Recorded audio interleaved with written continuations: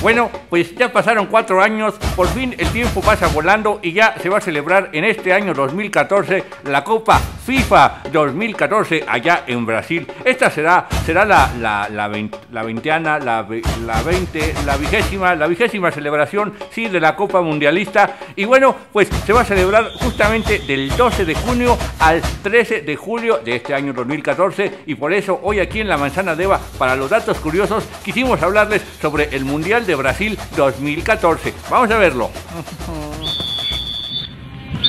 En 2004 la FIFA eligió a Sudamérica como sede de la Copa Mundial de 2014. Pese al entusiasmo inicial de algunos países, solo Brasil y Colombia presentaron sus candidaturas oficiales antes del cierre del plazo el 18 de diciembre de 2006. Algunos meses después, Colombia retiró su candidatura, dejando como único postulante a Brasil.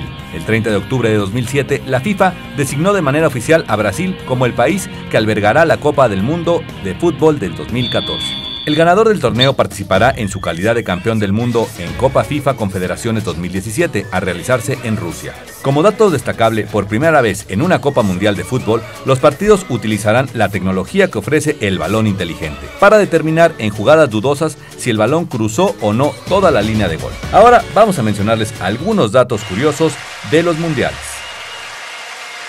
En Inglaterra, 1966, se utiliza la primera mascota oficial de un mundial, el león Willy. En Alemania, 1974, se dio el primer expulsado, el chileno Carlos Caselli. Esta edición tuvo el récord de 79 amonestados y 5 expulsados. En Alemania, 1974 también, el haitiano Ernest Joseph se convirtió en el primer caso de dopaje positivo en un mundial, quedando expulsado del torneo. Bueno, pues otro dato curioso es que pues siempre a los mundiales van 23 jugadores y únicamente juegan 11. Miren nada más cuántos gastos, ¿verdad? O hay cuántos más van de, sobra. Yo digo que hay lugares que están muy desperdiciados.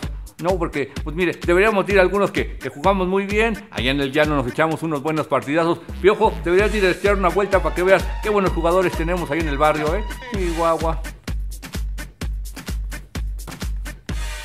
En el Mundial 2006, el brasileño Ronaldo se convirtió en el goleador histórico de los mundiales, al sumar 15 anotaciones, con la que destronó al alemán Gerd Müller, que había anotado 14 goles.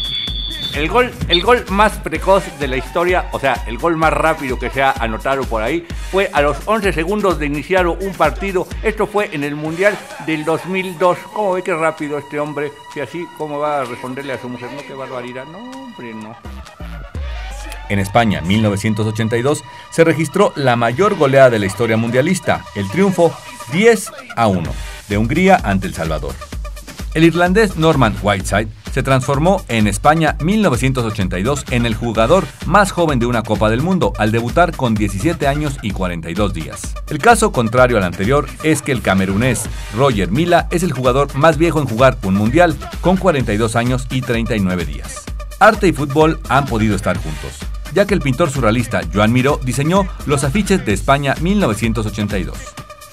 Solo el 22% de los partidos de todos los mundiales han terminado empatados, 157 empates en 708 juegos. En los demás juegos, o sea, 551, hubo siempre un ganador.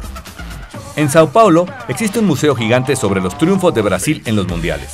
Son tres pisos, 17 salas, 1442 fotos y 6 horas de video justamente en el Mundial de Brasil, pero el año de 1950, la India, un país que ya había clasificado y estaba listo para echarse ahí su cascarita, pues no jugó. ¿Por qué? Por la sencilla razón de que no les permitieron jugar descalzos como la ve usted, qué mala onda, mire, yo me solidarizo con la banda hindú, yo tampoco voy a jugar con mi tenis, así que órale, iguales, y sí se puede jugar, ¿cómo no? En Estados Unidos, 1994, se da por primera vez que una final termine con el marcador de 0 a 0 y hay que jugarse la copa en la tanda de los penaltis. Brasil se proclama vencedor ante Italia. Sí, se pudo, sí se pudo. Nos vamos al mundial, claro que sí, nos vamos al mundial y ojalá que pues, no nada más podamos ir y, jugar y presentarnos ahí, sino que realmente ganemos. Ojalá que pasemos más de octavos de final, más de cuartos de final, porque bueno, pues yo sí espero que, mi país, que mi selección haga un buen papel en el fútbol. A mí me gusta mucho el fútbol y yo sigo insistiendo que estamos muy desperdiciados, muchos, mucha banda que somos futbolera. Pero bueno, Piojo, ojalá te des una vuelta por acá donde nos echamos nuestras cascaritas, nos conozcas, nos veas y nos lleves a Brasil, ¿por qué no, verdad? Bueno, pues estos fueron los datos curiosos para la manzana de Eva. Vamos a ver que no.